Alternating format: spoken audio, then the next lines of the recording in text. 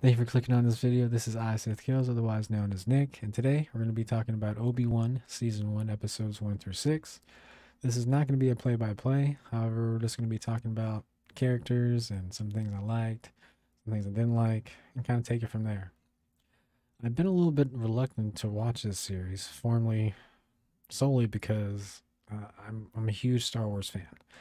I love this the the original trilogy ever since I was a kid and fell even more in love with it when the Force Unleashed game came out on uh, consoles. And to be honest, that was probably one of the best adaptations of Star Wars I've ever seen in a video game and even story. Uh, I love the whole, you know, Starkiller being the apprentice of Darth Vader and basically Sith becoming Jedi storyline. So if you haven't played that game, that game is awesome. I definitely suggest that. But I've been a fan of uh, Star Wars forever, so I really was afraid of what they were going to do with the characters um, in this series. And to be honest, some of the things that I was afraid of didn't, in fact come true, but I did get some enjoyment out of watching it. Uh, I can say that. Um, Hayden Christensen, um, when he was on screen, did a very, very good job.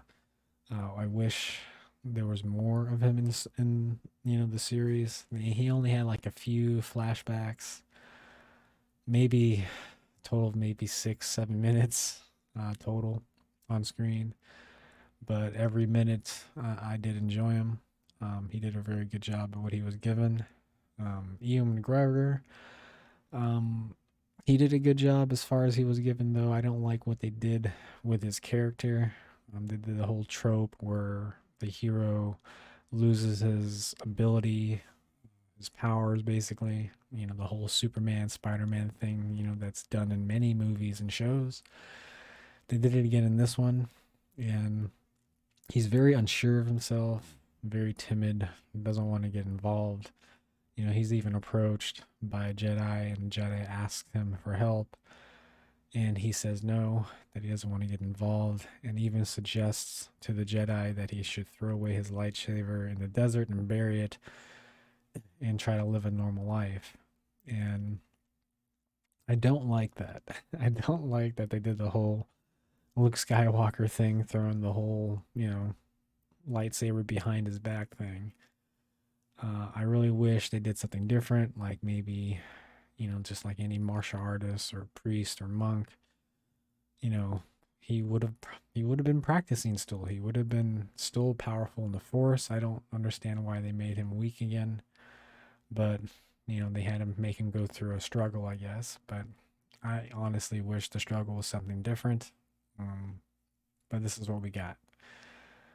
Um, Ewan McGregor did the best with you know what he was given though. Um, Reva's character was a little bit confusing uh, to me, to be honest. She was a youngling that survived Order 66 and became an Inquisitor just to get close to Anakin to, I guess, kill him. But the reason why it confuses me is because if somebody is trying to get revenge, you know, for killing younglings and Jedi's and you know people have force powers why would you you know do something to kill people with force powers and younglings just to kill the person that did that to you basically? So her character was a little bit confusing. Um the grand inquisitor i did not like. Um his voice uh his whole persona played off kind of like a you know, pompous, rich guy who's overly confident, not like an evil, menacing, almost Darth Vader type, which is what the Grand Inquisitor is supposed to be. the adaptation in Rebels was so much better um, than the live action version, in my opinion. But uh, we get what we get. Princess Leia. Uh, I did enjoy her presence on screen. I thought the actress that played her did a good job. Um, I did enjoy the relationship between you know Obi Wan and uh, her like kind of playing off as a father daughter relationship towards the end of the series. I did kind of enjoy seeing that relationship grow into that, but I honestly wish we got a little bit more of Luke because you know, obviously it, it does kind of ask some questions because Leia didn't act too upset when Obi Wan died in New Hope. But, you know, obviously maybe the writers didn't watch the movies. I don't know. Um, I also heard we we actually don't get Darth Vader. Like we don't get James Earl Jones's voice. Um, we actually get an AI robot's voice, which I mean, I did enjoy the scenes we get with Darth Vader and you know the dialogue. I mean, it did portray well on screen. Seeing um, the black mask again, seeing the red lightsabers, you know, hearing the breathing, it did um, spark up some nostalgia feelings for me. So, although I wish James Earl Jones did voice the character, I think it would have been a lot better. So. Uh, the character who played the fifth brother, which is Sung Kang, uh, I thought he was probably the closest thing to an actual Inquisitor to what they're supposed to be. You know, menacing, trying to gain more power, you know, very loyal to the person in charge. Kind of a kiss ass, almost, you know, um, you know, because he's trying to move up in rank. But I did enjoy how he acted out the character um, Jackson, who played Junior, uh, played a character, you know, normal guy, just trying to do what's right, trying to protect the Jedi because he knows that the Jedi protects the normal person. So I, I did uh, enjoy his character a little bit. Um, Kumail Nanjiani, he plays this fake Jedi that helps people, but he gets paid. He takes money from the people who's helping to get off planet, but he gains their trust by pretending to be a Jedi. So I don't know. Some reason Obi Wan really trusts him though by the end of the series. So I wonder what they're gonna do with his character in season two. Um, Joel Edgerton does come back to reprise his role as Owen, and I thought he did really well. Uh, I enjoyed seeing that he really cared a lot for Luke, and enjoyed knowing that Luke was brought up by a loving family. You know, it wasn't like a broken home or anything. Like they really cared about him. So I did enjoy um, what he brought to the character. Uh, we get uh, Jimmy Smits back playing Senator Organa. I did enjoy seeing him back on the screen playing and reprising his role.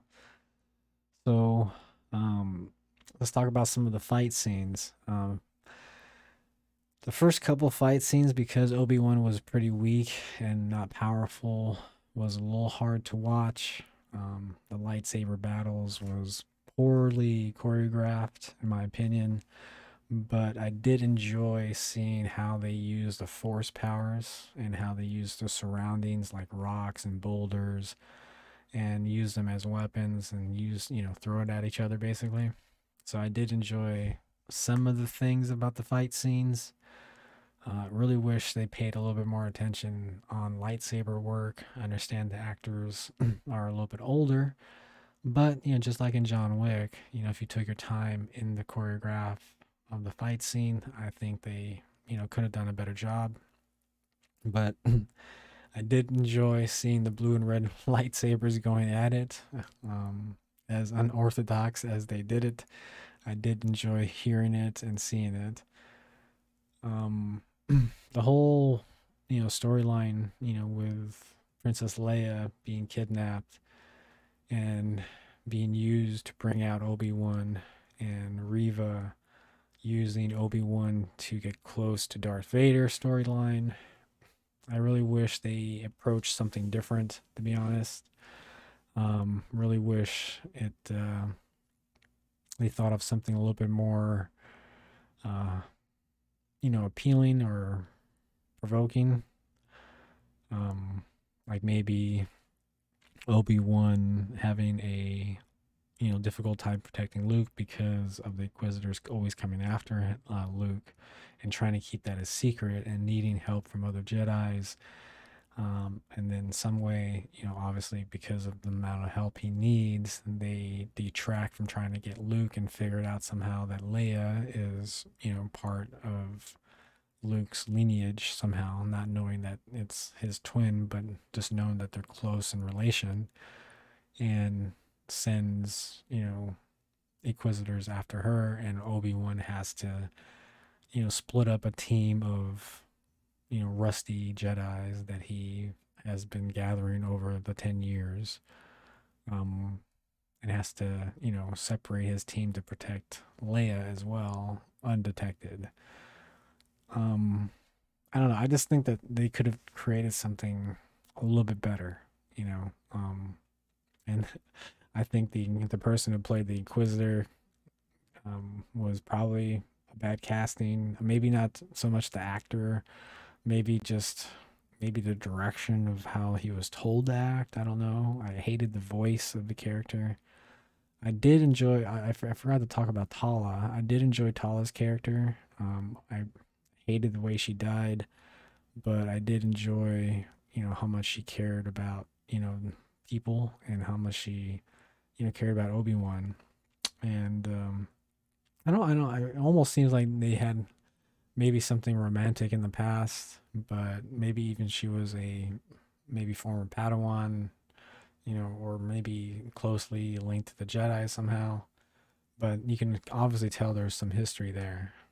But uh, I don't know. Um, I guess the series as a whole, I would probably give it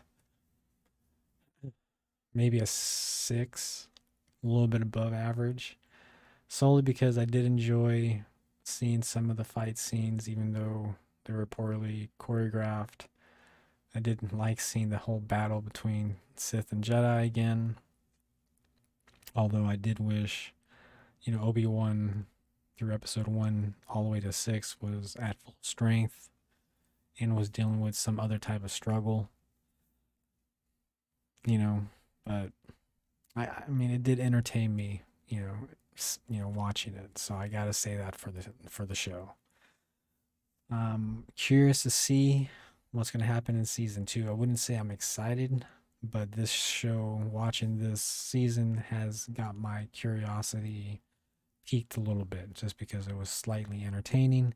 And with all the shit that we get today seeing a slightly entertaining show is a lot better than seeing something like Rings of Power or She Hulk, which is un- almost unbearable to watch. But, anyways, guys, uh, I would say that is my opinion on Obi Wan. We'll see what happens in season two. Hopefully, they get a little bit better with the fight scenes and the choreography, and then also come up with a better story for this next uh, season. But we'll see. Anyways, guys, if you did like the video, please hit that like and subscribe button and I'll catch you in the next one.